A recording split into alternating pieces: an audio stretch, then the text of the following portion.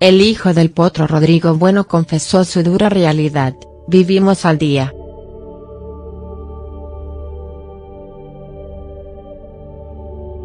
Este domingo se cumplieron 18 años del trágico día en que el potro Rodrigo Bueno perdió la vida en un trágico accidente automovilístico, mientras volvía de brindar un concierto en La Plata. Para recordarlo, Mirta Legrand invitó a su programa a su hijo, Ramiro.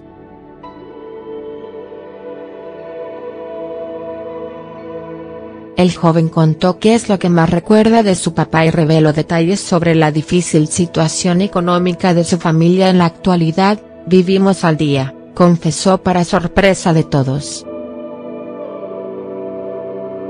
¿Qué pasó con la fortuna que hizo el cantante?.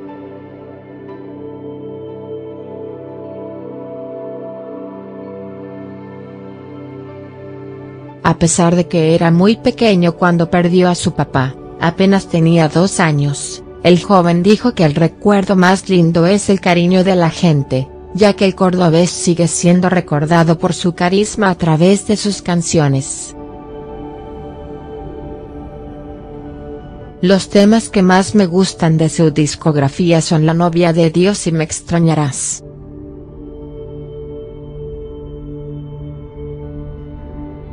Este último me hace mucho acordar a él.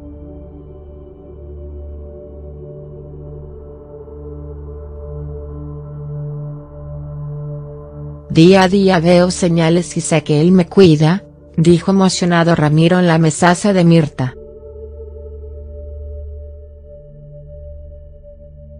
¿Quién heredó el dinero?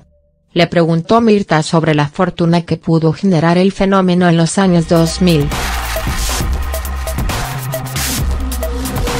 Hubo un gran tema no lo padecí pero yo tengo que decir que vivo al día con el dinero de alquileres de unos departamentos que pudimos comprar. Con eso podemos vivir al día con mi mamá y sus hijas, contó el hijo del músico dejando ver una gran tristeza. En respuesta a la dura realidad de la familia que dejó el potro, siento que sus discos fueron un éxito en ventas. Me parece una injusticia, él ganó mucho dinero.